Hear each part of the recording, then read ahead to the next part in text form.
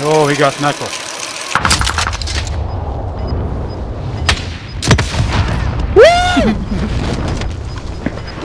We've got gas inbound. Safe zone relocated. Did you see that rocket or not? Did you see that rocket or not? Yeah.